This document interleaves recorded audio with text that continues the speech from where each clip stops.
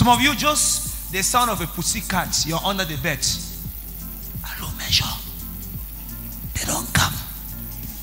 I said, I remember one day, one lady, in fact, a pussycat was crying out of her window. She called me. That was 2 a.m. My phone was ringing. I picked the phone. You know, I pick phone 24 hours. She called, I said, Hello. Hello, Measure.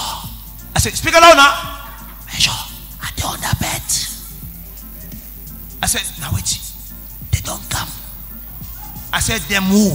Them. I said, Them who no? He said, Meow. Imagine pussycat will make somebody to go under the bed. Huh? I said, Where are they? She answered me. They dey fuck on the window. Measure, you know the air. I said, carry water. Let me bless you. Go out and bless around the house. Measure, measure, you feel come, you feel come. I said, me. I said, what's that? Sisia four, Sisia four. Someone come out for my four. They go Sisia four for two o'clock for night. For God bless us for pussy the man miam. I said, get up and pray. He said, measure, light, light it off. I said, get up. Begin to pray. I did it, yeah, yeah. I said, open your mouth. My blood is bitter. My blood is bitter. Pussycat. Do you know unbelievers they sleep better than you? Huh? Look at unbelievers. They don't see what they call spiritual husband, spiritual wife. They sleep. You know to see how unbelievers do sleep. They sleep open their foot, sleeping without breastwear. They fine. But you a child of God. The moment you pray, anoint your face, you climb for bed. The first hand they come now for here. It don't hold you now here. One day, one woman made me to laugh until that was I think one minute after twelve. Man of God, if you imagine, I don't really try anointing oil, fine, rub my face. I just want to climb for bed, cover my eye, and then they depress my neck. Hmm? I said, Madam, anointing oil cannot stop demon from pressing you. It is a medium. It's just there to support you. Yes, the hand will press you, but the hand will not kill you. Get up and pray.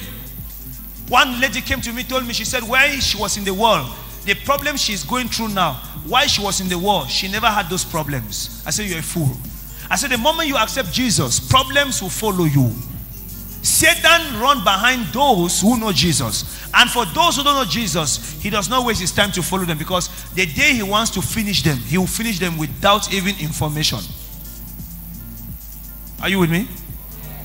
I am number one person Satan is having my picture. If Satan can get me, there will be what we call celebration in the kingdom of darkness. The moment Satan understands you're in the opposition party and you have a seat in the parliament, hey, you are an obstacle. That's Satan. There are some of you sitting here. What you are going through, grace is keeping you. The time you used to go to witch doctors, things were better. When Baba was the first number, favorite number in your phone. Baba will even call you my daughter.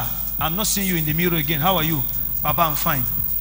But now that you have confessed Jesus, even to do your hair, you are managing 600 francs bank market. Things are difficult. Why? But God knows why. But every difficulty will end with a testimony. Tell yourself, I know God is working the way out for me.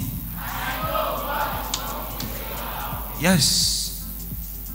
Difficulties is not the end of your life. I remember one of the trying moments I went through in ministry. You know, my early days, things were very difficult. Difficult. Difficult. Ah. Many things has made me to be strong. To be strong. Many things to be strong. Many things. And there's a common saying experience is the best teacher. What has given me experience is hardship, difficulties, rejection, isolation. Many isolated themselves away from me. I was rejected by my friends. I remember when I started preaching the gospel, my benchmate was the first person who mocked and laughed at me. He had given me a name, Prophet Elijah. I remember when my first days I used to evangelize in my four junction. Okada people gave me a name, Prophet Elijah. That's 20 something, 28 years ago. But today, Sometimes when I stand in front of the church, Sunday they are coming with speeds to drop Christians, go. In fact, I begin to look at them. There's time for everything. None of you should give up. No matter who insults you, hold on. Even if someone says you will never get married, don't worry. The husband you will get married will not even be an ordinary husband. Don't think the end of your life has come. Mm-mm. God has a plan for everybody. I say He has a what? He has a plan for everybody. God has a plan for everybody.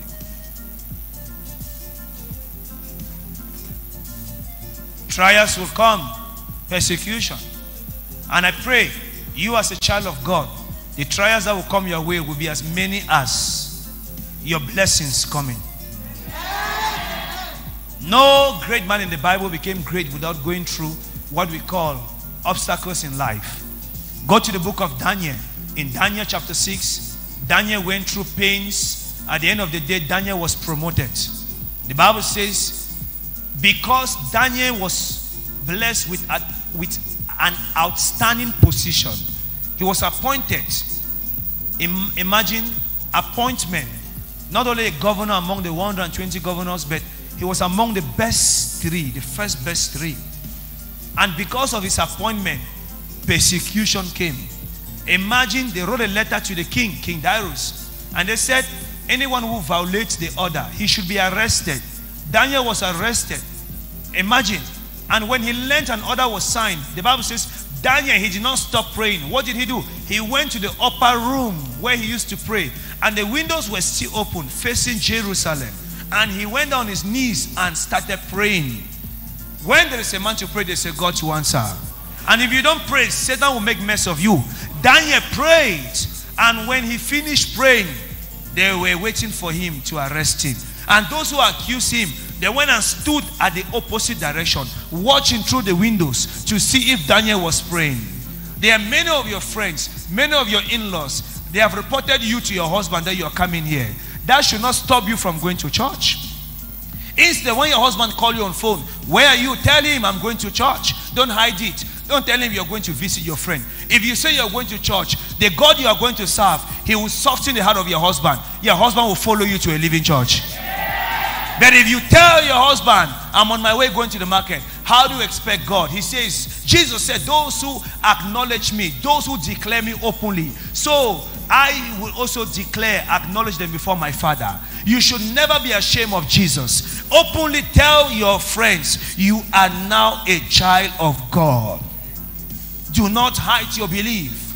Do not hide your faith. Do not hide your integrity with God. Me standing here, I have never been ashamed.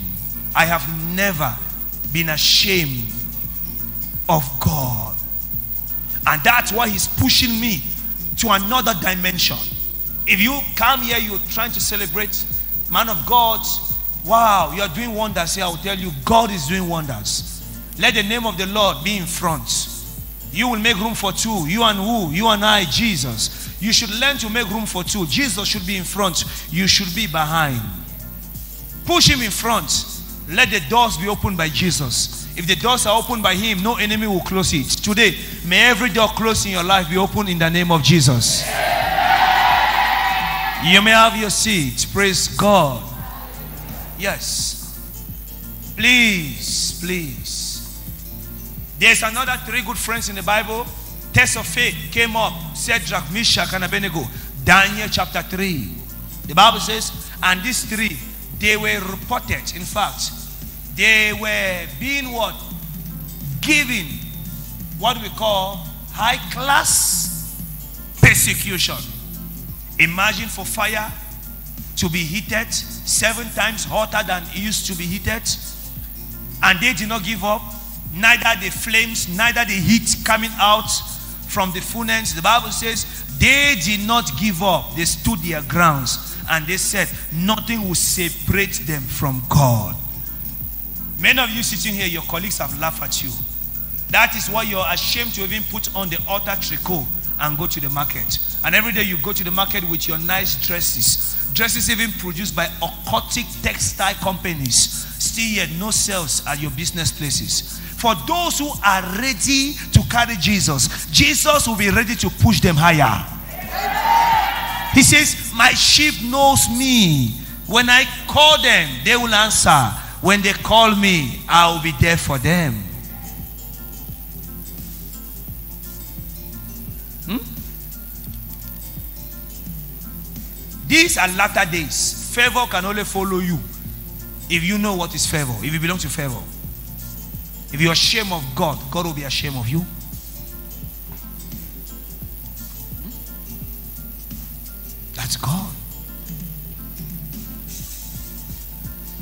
Imagine somebody being arrested, put in the lion's den, and lions could not harm him. Today, an ordinary gong dog in the quarter, it bites you so. Hmm? You speak in tongues you don't even go church. Hmm? Imagine lions welcome Daniel when and collected bones and brought to him. And Daniel said, Sorry, I'm not hungry. Hmm? He was a man of faith. Faith. Anyone here whose faith is weak, may strength be given to you in the name of Jesus. Nothing will bring down your faith. Let me hear the loudest amen you can. You may have your seats. In verse 3, for you know that when your faith succeeds in facing such trials, the result is the ability to endure. Make sure that your, your, your endurance carries you all the way without failing, so that you may be perfect and complete, lacking nothing. But if any of you lack wisdom, you should pray to God, who will give it to you, because God gives generously and graciously to all. But when you pray, you must believe and not doubt at all. Whoever doubts is like a wave in the sea that is driven and blown about by the wind. People like that, unable to make up their minds and undecided what to do, must not think that they will receive anything from the Lord. When you pray, you must believe and you must not doubt.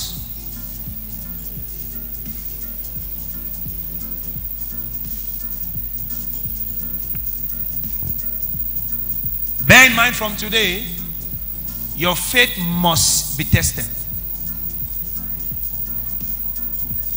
There is nothing you will do for your faith to remain untested. God must allow the devil to test your faith. Not God will test your faith. He allows the devil. The devil, you know, he's someone who accuses us every minute. And God has given him the go ahead to test your faith in many or different ways. Hmm? And if you are not strong spiritually, you will fall from grace. Hold on. No sweat, no sweet. No bitterness, no sweetness at the end of the day. Ah, every man who approaches you for marriage will tell you at the end of the day, disappointment, ah, who cannot get married. Oh, these are trials. The real husband is coming. One of my daughters, she's fine now. She's the one enjoying a nice Prado. Am I the one? I don't even have one. I remember days I used to advise her. I would tell her, hold on. A husband is coming. She would tell me, man of God, I'm getting old. I said, it's not matter of age. Your husband is coming. I told you this what happened. Many, many years. One day I was in the house. I got the sound of a Prado. And all I could get was a very heavy engine. It came out, watch, it went and 10. Came and trafficated and parked. And I saw, you know, we have agbada in three categories. agbada of Malam, agbada of Alhaji, and Aguada of what? Ganako. Am I talking to somebody here? You know, that of Ganako is that one that had that long rope. That is dirty. They can wash it once in six months. The one of Malam, they can wash once in two months. The one of Alhaji, in fact, every day they press it. And the one of Alhaji, they can hide 10 of us inside. In fact, you, you know, you put on first the trousers, you put on the small one before the other one, before the real one that as you're walking, malams, they are there gathering it for you, putting like this. He came down from the car with about three big phones. Wow. All I could recognize was my daughter. I said, Wow. Who is this? Maybe she's coming with maybe an allergy to come and greet me. Little did I know The husband I used to encourage her, your husband will come. The husband finally came. And in fact, all I could see was a paper. I saw bread there. While they were talking, the husband said, Okay, to cut the matter short, prophet, we have come to greet you and I've come to see uh, my to be spiritual father. And I've come to appreciate you. While he was talking, his hand was in his pocket. Something heavy and big brown envelope came out. You know, in every spiritual daughter I have, I'm the first father in law. Can you clap for father in law? I'm the first father in law. So, at the end of the day, what made me to be jealous? She said, he said, we're on our way leaving for Europe. Uh-uh. That did not sound. All what he was saying, he will enter here and come out here. When he said we are on our way, I thought we, including me. You see?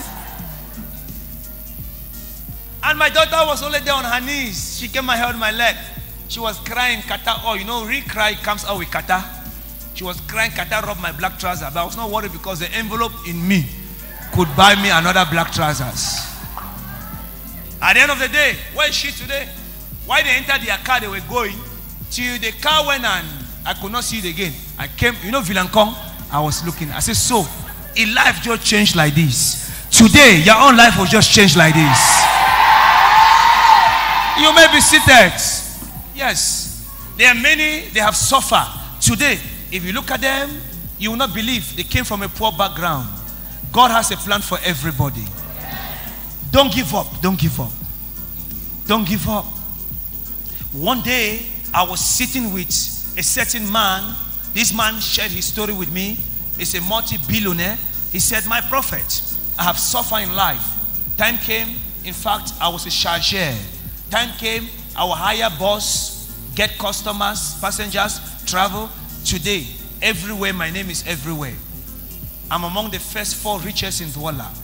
You see, there are people who are blessed today, but if you know where they are coming from, in fact, you will not believe. I used to tell you how I grew up. My father used to feed me with beans and fufu. You know what it means? Fufu and beans, plantain and okra. Teacher is teaching in class, even the board you're seeing the additional marks. But today, when you look at Prophet Allo, you think he came from a very rich background. No. Don't give up in your own situation. I speak into your life. Every door closed, may God open it for you now. Be seated. Life is in stages. Even if they laugh at you, mock at you. Even if they laugh at you, mock at you. Huh? Leave it for God. The battle is not in your hands. In the book of Exodus 14, verse 14, God said, Be still, my children. I will fight for you. May God fight your battle. May God fight your battle. In the name of Jesus. You may have your seats. Anybody who thinks he can fight on his own is wasting his time. God has been fighting battles in this place. Try us